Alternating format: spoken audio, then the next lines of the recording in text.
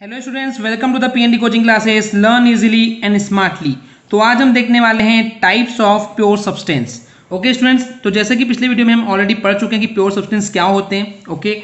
ऐसे मैटर जो कि एक ही टाइप के कॉन्स्टिट्यूएंट पार्टिकल से मिलकर बना होता है ओके okay? उसको हम बोलते हैं प्योर सब्सटेंस तो इसके दो टाइप देखे थे स्टूडेंट्स पिछले वीडियो में वो थे एलिमेंट्स एंड कंपाउंड्स लेकिन उसको इनडेप्थ नहीं पढ़े थे. तो आज हम वही देखने वाले हैं कि एलिमेंट्स एंड कंपाउंड्स क्या होते हैं. तो चलिए देखते हैं एलिमेंट्स क्या हैं। अगर साइंटिस्ट लेवॉइजर के अकॉर्डिंग हम बात करें तो एलिमेंट्स को जो डिफाइन किया गया है, वो इस तरीके से किया गया है कि कोई भी जो प्योर सब्सटेंस है, अगर हम उसका सिंपलेस्ट फॉर्म की बात करें तो उस प्योर सब्सटेंस का सिंपलेस्ट फॉर्म जो है नॉर्मली उसको और ज़्यादा स्मॉल पार्ट में डिवाइड नहीं किया सकता है ओके चाहे वो फिजिकली बात करें, चाहे फिर केमिकल मेथड की बात करें सिंपल सी बात है। एक छोटा सा छोटा ऐसा सब्सटेंस जिसको ना तो हम स्मॉल पार्ट में डिवाइड कर सकते हैं, और ना ही वो किसी और चीज़ों से मिलकर के बना हुआ हो सकता है। ओके okay, स्टूडेंट्स यानी कि आप समरी में ये बोल सकते हैं कि ऐसी कोई चीज़ जिसको और स्मॉल पार्ट में हम डिवाइड नहीं कर सकते। यानी छोटी से छोटी चीज़ जिसको और ज़्यादा स्मॉल पार्ट में डिवाइड नहीं कर सकते वही होता है एलिमेंट्स ओके? लेकिन ये जो डेफिनेशन है वो मॉडर्न वर्ल्ड के हिसाब से रॉन्ग है नॉट करेक्ट ओके स्टूडेंट्स क्यों? क्योंकि अब एलिमेंट्स ऐसे भी हो गए जिनको हम और स्मॉल पार्ट में डिवाइड कर सकते हैं। और वो और भी ज़्यादा छोटे छोटे स्मॉल एंड सिंपल सब्सटेंस से मिलकर बने होते हैं। ओके स्टूडेंट्स जैसे अगर हम बात करें, एक एटम या फिर मोलिक्यूल है ओके उनको जब हम एनालिसिस किए साइंटिस्ट लोगों ने तो क्या होता है, हमको और भी छोटे छोटे पार्ट्स पार्टिकल्स मिलने लग गए उस एटम या एलिमेंट में से ओके तो आजकल के हिसाब से, यानी कि मॉडर्न वर्ल्ड के हिसाब से अगर हम बात करें तो एलिमेंट क्या होता है, देखते हैं कि एलिमेंट जो है, वो एक ऐसा प्योर सब्सटेंस है, जो कि बना होता है एक ही जैसे एटम से मिलकर।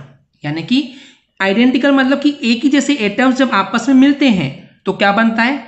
एलिमेंट बनता है। अगर इसके एग्ज़ाम्पल की बात करें तो जगह कार्बन हो गया हाइड्रोजन हो गया ऑक्सीजन हो गया नाइट्रोजन गोल्ड लीड एक्सेट्रा ये क्या है? एलिमेंट्स के एग्ज़ाम्पल ओके स्टूडेंट्स अगर मैं इन समरी की बात करूँ इन शॉर्ट एलिमेंट एक ऐसी चीज़ है जो कि एक ही टाइप के एलिमेंट से मिलकर बना होता है। आई I मीन mean, एक ही टाइप के सब्सटेंस से मिलकर या फिर एक ही टाइप के एटम से मिलकर बना होता है उसको हम क्या बोलते हैं? एलिमेंट बोलते हैं। और ये जो डेफिनेशन है वो मॉडर्न वर्ड के हिसाब से। अभी तक अगर हम बात करें टोटल 118 ऐसे एलिमेंट्स है जो कि हमको पता है जिसमें से 92 जो है वो हमको अर्थ के क्रस्ट से ज़मीन खोद के मिला है।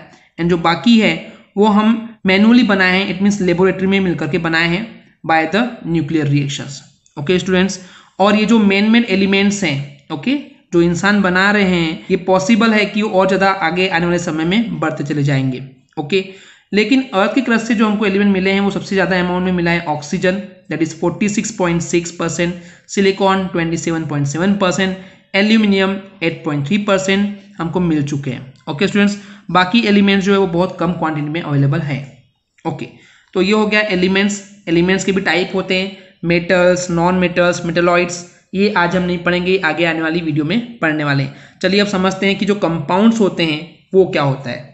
कंपाउंड्स क्या एग्जैक्टली जब दो या दो से ज़्यादा ऐसे एलिमेंट जिनको हम कंबाइन कर रहे हैं एक फिक्स्ड रेशियो में, यानी कि फिक्स क्वांटिटी में हम दो या दो से ज़्यादा एलिमेंट को मिला रहे हैं तो क्या बनता है? That is compound okay students अगर एग्ज़ाम्पल की बात करूँ, जैसे वाटर हो गया अमोनिया हो गया कार्बन डाइऑक्साइड हो गई शुगर हो गया सॉल्ट हो गया, ये सब क्या है? एग्जाम्पल्स है कंपाउंड के। ओके स्टूडेंट्स तो बेसिकली कंपाउंड भी एक प्योर सब्सटेंस के जैसा ही है, जैसे कोई एलिमेंट होता है। बट एक्चुअली कंबाइन करके बनाया जाता है दो या दो से ज़्यादा एलिमेंट को। ओके स्टूडेंट्स लेकिन, जब आप इन दो या दो से ज़्यादा एलिमेंट को मिलाते हैं तो फिक्स्ड रेशियो में होना चाहिए। जैसे कि वाटर क्या है? एच है। तो हाइड्रोजन के आप दो मोलिक्यूल लेंगे एंड ऑक्सीजन का एक लेंगे, तब जाके आपको वाटर मिलने वाला है।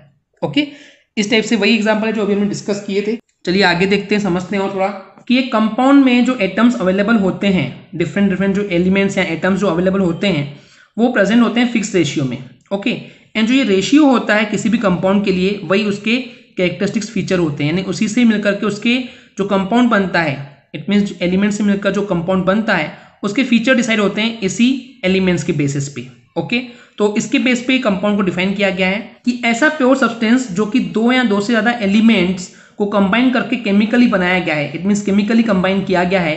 वो भी फिक्स रेशियो में ओके क्यों मिक्स किया गया है? क्यों आई I मीन mean उसको मिलाया गया है? ताकि हम कंपाउंड्स बना पाए ओके एंड बाद में इन कंपाउंड्स को हम सेपरेट भी कर सकते हैं उनके कॉन्स्टिट्यूएंट्स एलिमेंट में।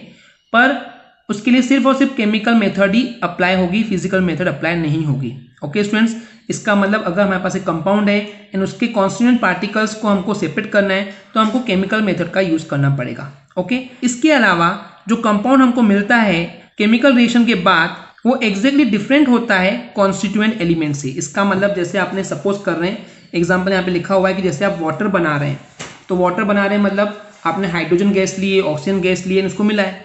तो जो वाटर बना है, इसका मतलब ये नहीं कि जो वाटर एच है, वो एकदम सेम होगा हाइड्रोजन गैस के ना ऑक्सीजन गैस के। नहीं। उसके जो प्रॉपर्टीज़ है, जो कैरेक्टरिस्टिक्स है, वो डेफिनेटली उसके कॉन्स्टेंट पार्टिकल से अलग हो सकते हैं। ओके स्टूडेंट्स आई होप आपको क्लियर हो गया होगा कि कंपाउंड क्या है। अब इसके टाइप्स भी हैं, जैसे हो गया ऑर्गेनिक कंपाउंड इनऑर्गेनिक कंपाउंड वैसे वो हम आज की वीडियो में नहीं पढ़ने वाले आगे आने वाली वीडियो में देखेंगे। ओके स्टूडेंट्स आई होप आपको इतना क्लियर हो गया होगा। अगर आपको हमारी वीडियो से कुछ भी सीखने मिला है नॉलेज मिला तो प्लीज़ हमारे चैनल को सब्सक्राइब कीजिए एंड वीडियो को लाइक ज़रूर करें। आज के लिए इतना ही। Thank you